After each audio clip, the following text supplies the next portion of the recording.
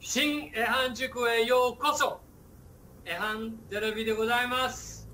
エデューテインメントって皆さんご存知でしょうか？エデュケーション教育プラスエンターテインメントエデューテインメントの最先端の番組。新エハン塾へようこそ。よくいらっしゃいましたこと。実は最大の新エハン塾の目的は何だろう。皆さん方を元気になっていただくことでござる。いかがでしょうか。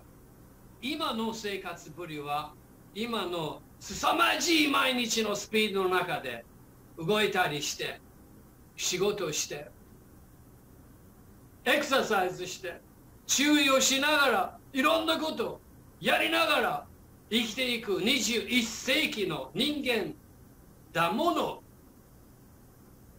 ちょっとしんどくない？正直言ってね。しんどくない？こんだけの情報があってこんだけのネットの情報があってこんだけだけのコンスピラシーがあって何が何やかさっぱりわからんじゃないか。という声が多々耳にいたします。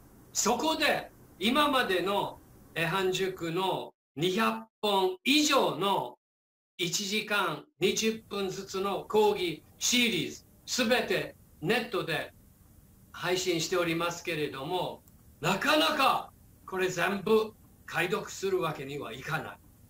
そして皆さんは忙しいですから今から新エハン塾を通して今までのエハン塾の講義の解説をしながら一つの例えば先端科学15分健康について10分今週の一番ニュースから出てる情報の分析ニュースの見方をもっと楽しくするためにパロディかもしれませんだって何がニュース？